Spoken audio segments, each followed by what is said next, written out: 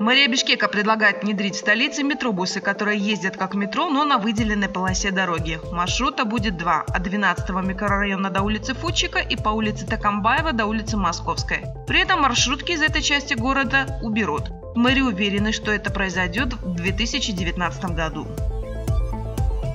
Финразведка потребовала от всех коммерческих банков предоставить данные о владельцах счетов и ячеек. Под это требование попали все банки без исключения. Союз банков резко осудил требования и заявил, что банки его исполнять не будут. Происходит нарушение закона, подчеркнули банкиры. Самыми популярными именами для новорожденных кыргызстанцев в уходящем 2018 году по-прежнему остались Умар и Раяна. В тройку популярных вошли Алинур и Али для мальчиков, среди женских имен Амина и Алин.